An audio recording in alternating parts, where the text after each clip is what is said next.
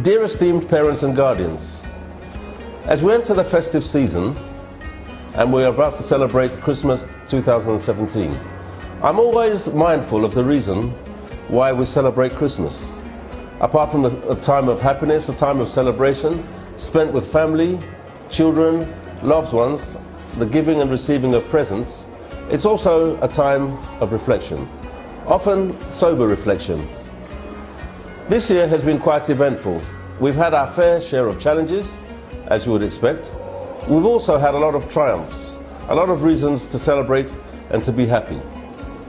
We're very proud of our academy. We're proud of our students. We're proud of our staff. We're proud of what we do, and we're also very proud of you, the parents, who make all of this possible.